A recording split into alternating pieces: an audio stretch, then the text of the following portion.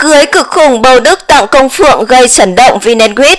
Sau khi làm đám cưới với cô dâu Tô Ngọc Viên Minh, Công Phượng chắc chắn sẽ trở lại thi đấu cho Hoàng Anh Gia Lai và nhiều khả năng đội bóng phổ núi được dẫn dắt bởi một huấn luyện viên đẳng cấp bậc nhất Đông Nam Á.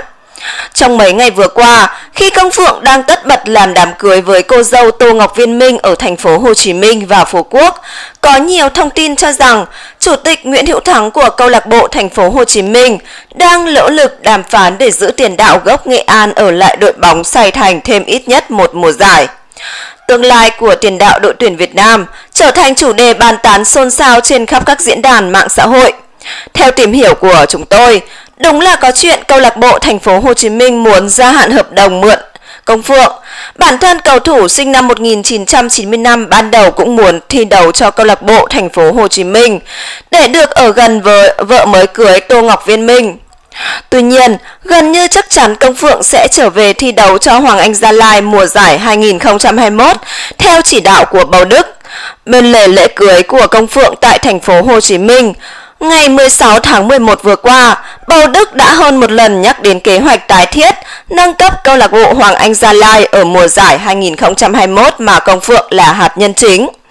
Bầu Đức cho biết, à, ông không quá đặt nặng chỉ tiêu cho Hoàng Anh Gia Lai ở mùa giải tới nhưng đội bóng phố núi sẽ có sự đầu tư nhất định để lứa cầu thủ tài năng nhất của học viện Hoàng Anh Gia Lai GMG chơi một mùa giải ra trò, đáp lại sự yêu thương mến mộ của đông đảo người hâm mộ bóng đá Gia Lai và cả nước, cùng với sự trở lại của Công Phượng. Lãnh đạo Hoàng Anh Gia Lai đang gấp rút đàm phán để đưa về sân Pleiku một số cái tên nổi bật ở hàng thủ.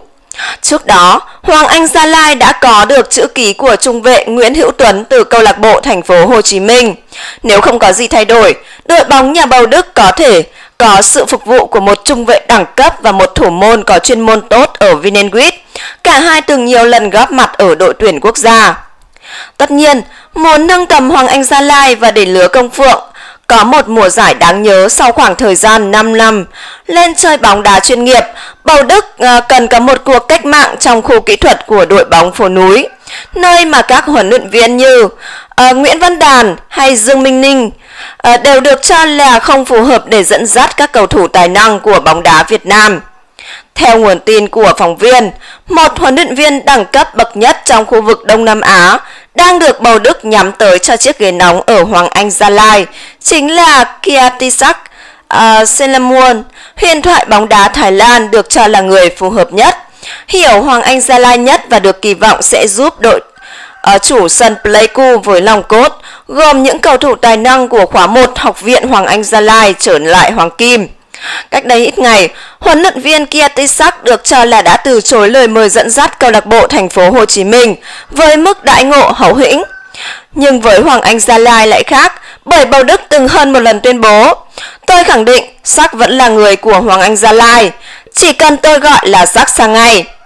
Nguồn tin của phóng viên cũng cho biết thêm, nếu không có gì thay đổi, Hoàng Anh Gia Lai có thể sẽ công bố bản hợp đồng bom tấn mang tên Kiatisak vào đầu tháng 12 năm 2020, tức thời điểm đội bóng phổ núi chính thức hội quân chuẩn bị cho mùa giải 2021. Khi ấy, Công Phượng vừa tổ chức xong đám cưới với Tô Ngọc Viên Minh ở quê nhà Đô Lương, Nghệ An vào ngày mùng 3 tháng 12 và việc huấn luyện viên Kiatisak trở lại dẫn dắt Hoàng Anh Gia Lai được xem như món quà cưới cực khủng mà Bầu Đức dành tặng tiền đạo sinh năm 1995. Cảm ơn cả nhà đã lắng nghe video của Pi. Cả nhà đừng quên ấn like và đăng ký kênh để nhận được những thông tin mới nhất về các video tiếp theo. Xin chào và hẹn gặp lại.